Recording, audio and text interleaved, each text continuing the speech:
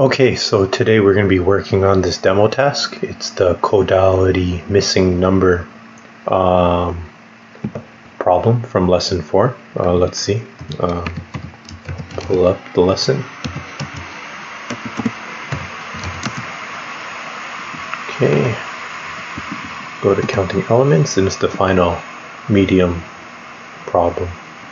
So first we're going to solve it using um, built-in functionality from JavaScript. So I'm going to use the sort function.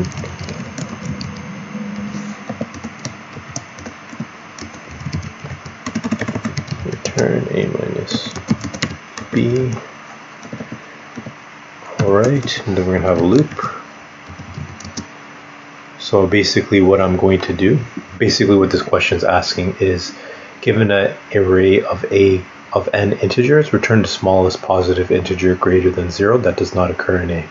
For example, given A is equal to 1, 3, 6, 4, 1, 2, the function should return 5 because there, if you were to order this and uh, iterate through it sequentially, there would be no 5. Let me show you.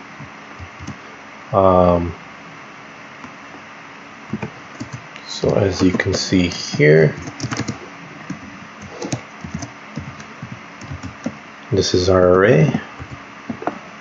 And then if we were to put it sort it we would be left with 1 comma 1 comma 2 comma 3 comma 4 comma 6 so what we want is to be able to go 1 2 3 4 5 6 right? Unfortunately in this situation you can't.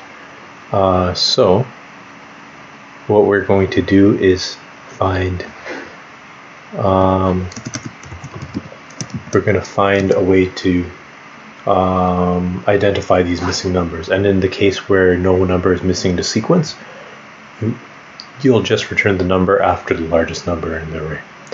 So, uh, for example, given a is equal to 1, comma 2, comma 3, the function should return 4. Given a is equal to negative 1, comma negative 3, the function should return 1 to write an efficient algorithm using the following assumption. n is an integer in the range of 1 to 100,000, and each element of an array is an integer within the range of negative 1 million to positive 1 million. So 1, we'll sort the array. 2, um, if um, we'll have a counter value variable that will track will track what positive number we should encounter next. If counter does not equal um, the current number return counter Okay, that is it put simply, and we have edge cases. No uh, positive numbers, return 1. Um, no missing numbers in sequence, return um, largest number sequence of array plus 1. Okay, so let's let i is equal to 0, i is less than a dot length, i plus plus. So what are our conditions? This is the loop we're going to loop through our sorted array because we sorted it right before, right? Put array in numeric order. So the first condition we'll check is if a of i is greater than 0, right? Because we don't care if it isn't. Okay, so now we know that a of i is greater than 0. So counter plus plus. And we'll have a counter variable. Let counter equal 0.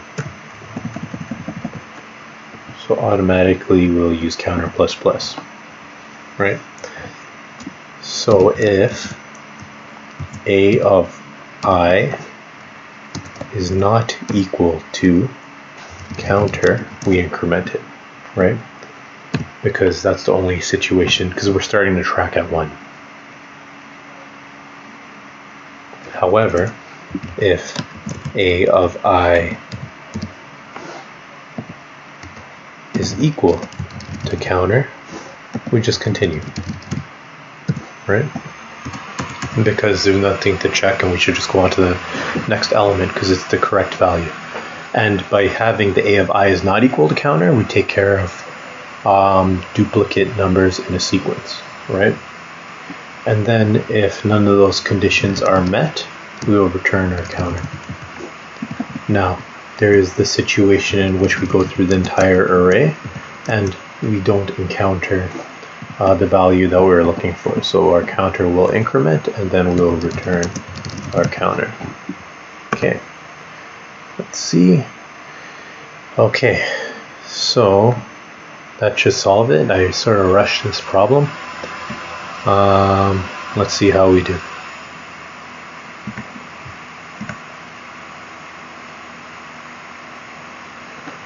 It's O of n complexity because we only have one loop.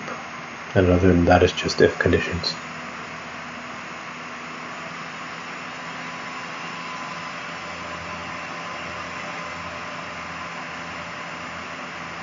Okay, we got 100% and it passed all the performance checks.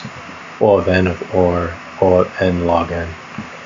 And uh, yeah, so that is the missing integer problem and the description of the question will be in the description below. That's it for now.